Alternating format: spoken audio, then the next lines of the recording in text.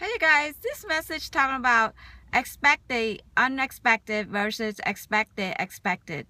Um, that's, you know what, there is so many things going on on this world right now. It's just so interesting.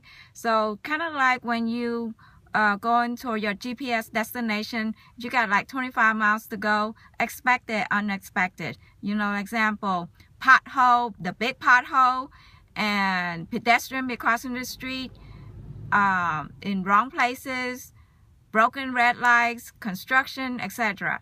So that's how our life is. You know, we gotta be have wisdom and be prepared. So when the negative issue come, we better we are better able to handle the situation.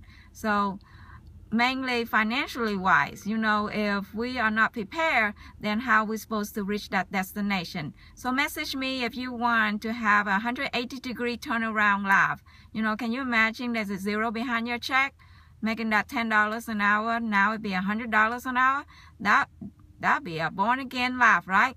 So looking forward to help you guys and I hope this message is going to around the church, members and leaders and I'll show you guys how you can be on track to be, you know, earning six figures and be in position to be a home, a homeowner and live in debt-free lifestyle versus be so out shape and, and live in a rental house and and don't have the money to pay for it, you know, living check by check or paycheck by paycheck or better yet paycheck to credit card to paycheck to credit card to paycheck.